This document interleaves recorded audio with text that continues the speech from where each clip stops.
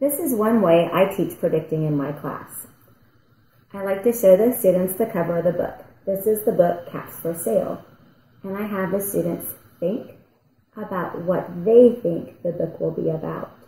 So I might even have to tell them, predict, hmm, I think I see monkeys, there's hats, there's a man.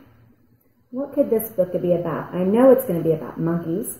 I know it's going to be about a man. I don't know why he's in the tree, but maybe you might have an idea.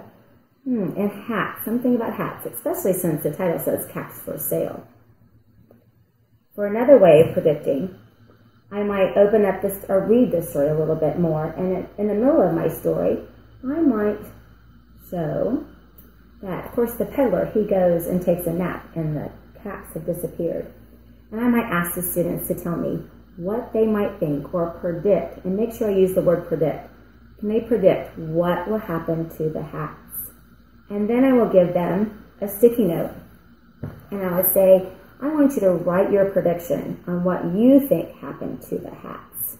So the kids will take the sticky note, they will go back to their seat, and they will write about what they predict happened to the hats. Then they will bring them up, and then they will stick them on the board, and I'll have a few kids come tell me what they thought might happen. And then we will talk about the prediction that they made. And then we will read further in this story